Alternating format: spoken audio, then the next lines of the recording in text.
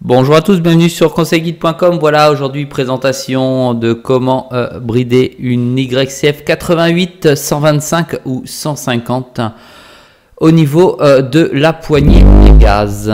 Alors c'est assez simple. Voilà, il suffit que vous introduisiez ici une clé et plus vous visez, vissez cette vis, plus elle sera bridée. Plus vous la dévissez, plus elle sera débridée. Si vous la vissez ou la dévissez, ça agit à ce niveau-là, et donc en l'occurrence sur la poignée de gaz. Donc visser pour brider et dévisser pour débrider.